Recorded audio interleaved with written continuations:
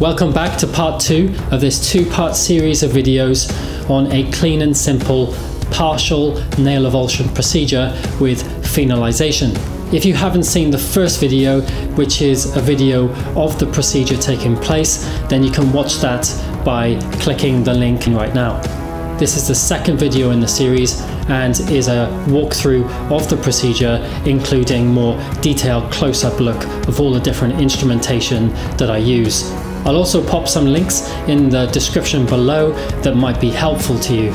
Hello, I'm Stephen Thomas. I'm a podiatrist, which is a foot and ankle specialist, and I'm based in the Harley Street Medical District of central London.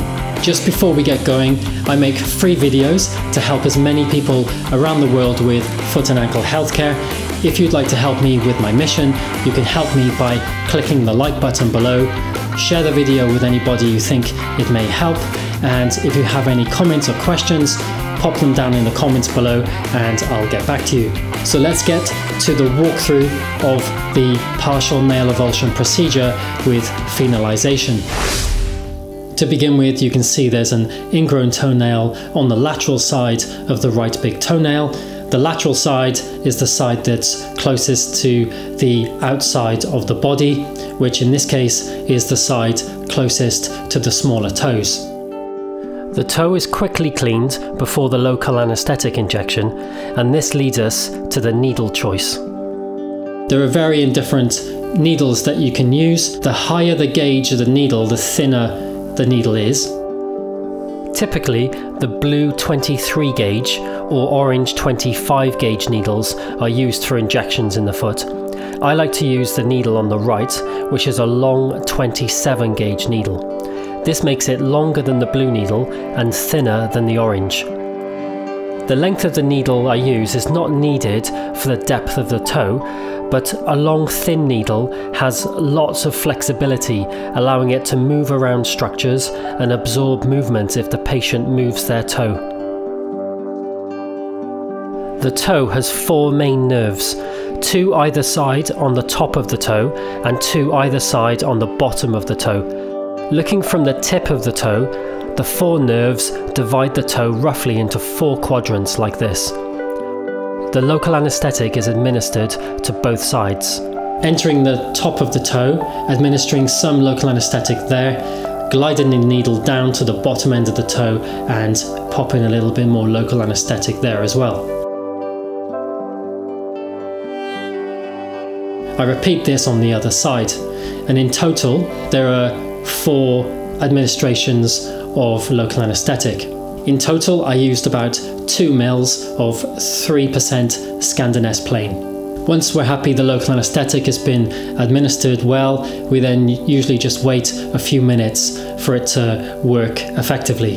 And after a few minutes, we can then test the toe and make sure it's completely numb before we begin.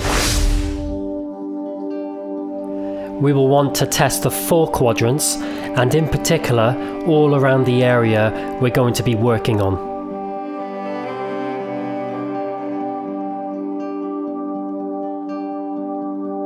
In this case I used a nail elevator which works well but you could also use the tip of a Black's file but even better if you have them is a Neurotip. These are small little instruments where you pop the cap off the end, there's a sharp point underneath, then you can just lightly press all around the toe and test to make sure there's, there's no sharp sensation that the patient can detect.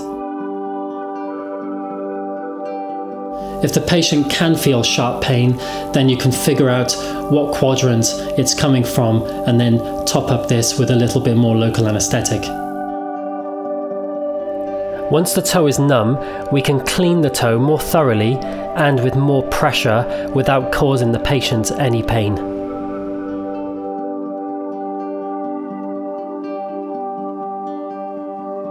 So once we're happy the toe is clean and the area is completely numb, we can then begin the procedure.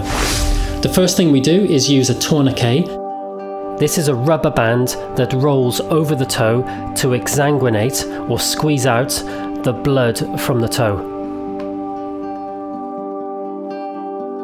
There are two main reasons why you want to keep the blood away from this type of procedure. Number one is bleeding into the area is going to obscure your vision. So you're not going to be able to see what's going on as well, and you may not be able to carry out an accurate procedure. The second reason is if there's blood in the area, it's going to dilute the phenol that you're going to apply later on. And if you dilute the phenol, the phenol's not going to be as effective as you would like it to be. And if the phenol's not effective, you may get some regrowth of nail. Once the tourniquet's been applied, the first instrument that I get is a nail elevator. The nail elevator that I use is very thin, very smooth and shiny, and it's used to separate the nail from the nail bed and the surrounding tissues. This should free up the surrounding skin around the nail from underneath the side and the top. And by freeing up this tissue, it should allow the Thwaites nippers to glide in nicely and be able to cut the nail perfectly. The Thwaites nippers are like a specialist pair of scissors that cuts in a straight line. The side that slides under the nail is flat, and then the side that goes on top of the nail is sharp. So the flat base goes underneath the nail and the sharp bit comes down on the top, making a good cut. There's always a bit of an art form to these procedures. If you don't take off enough of the nail, you may get some recurring problems. And if you take off too much, it looks a bit unsightly and it looks as though you've had a nail procedure. So when I perform these types of procedures, I try to artistically take enough of the nail off so it doesn't cause any problems, but you leave enough so that it doesn't look like you've had any procedure carried out. The Thwaites nippers are usually not long enough to make a full length cut of the nail, and therefore most people will take a cut of the nail and then either make a second cut or how I was trained was to use a chisel blade to make that second cut I found though in practice that using the chisel blade is more likely to cause damage to the surrounding tissues. So I get on better by using two cuts of the Thwaites nippers. The more additional damage that you cause during the procedure is going to increase the bleeding, it's going to increase the chances of post operative pain, and then obviously take a little bit longer to completely heal up. So I really try to cause the minimum amount of trauma to the toe when I'm carrying these procedures out. Once I'm happy I've made a full length of cut of the nail, I then quickly inspect it with using the nail elevator, and this is just to make sure that it's completely cut and there's nothing attached right at the back where I cannot see. When I'm happy that the nail's been cut well, I then clamp the section of nail with uh, forceps once I remove the nail with the forceps, I then inspect the nail and make sure I'm happy that it's all come out in one piece. If there's any signs of any nail remaining in, the, in that section, I then need to go in and make sure it's completely removed before I consider applying the phenol. Once I'm happy the section of nail's been removed, I can then move on to applying the phenolization. Nowadays, phenol comes in separate individual packages they come with a cotton wool bud with a small pot. When the cotton wool bud is placed into the pot, it breaks the seal and mixes the cotton wool bud with the liquid.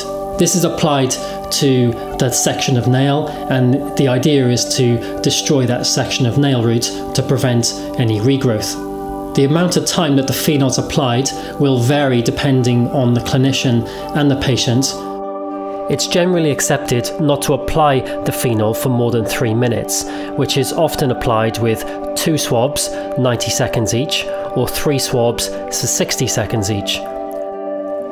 The main principle is to apply the phenol long enough to destroy the nail root and prevent any regrowth, but not to apply it too long, increasing unnecessary toxicity, inflammation, and pain.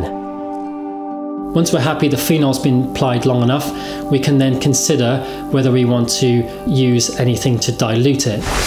The main principle of dilution is to control the time that the phenol is active. I've seen different reports of different solutions being used to dilute phenol, Some people have used industrial methylated spirits, other people use a saline solution, and I've even seen some burns units use chlorhexidine based solutions. As phenol creates a burn category of wounds, this could therefore be considered. Reading the literature, it seems to be that the more volume of solution tends to make it more effective as opposed to comparing one to the other. If you've seen the procedure, I would say that if you're using any solution to dilute the area, I would flex the toe down a little bit more than I did, just to make sure that it just runs off the tip of the toe and then straight onto the ground. Once we're happy we've made the cut, we've removed the section of nail, applied the phenol, diluted the area. The next thing is just to remove the tourniquet and apply a dressing. After the tourniquet is removed, this allows blood to return to the toe, so you will see it gradually become pinker in colour. This is also the time when you will see how much it will bleed. Ingrown toenails are caused by a nail piercing the toe, so there is usually some bleeding, but this can be made worse by the technique of the procedure, which can also increase post operative pain. Most bleeding can be managed with pressure, and then we are ready for the dressing. For the dressing, I used Jelonet, which is a non adherent dressing, directly on the wound, and then a few layers of gauze which is held with Tubinette and Micropore.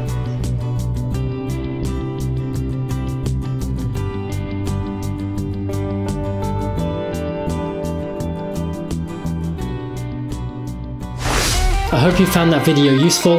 If you did and you'd like to help me, you can click the like button down below, share the video with anybody you think it may help, and if you have any comments or questions, pop them down in the comments below.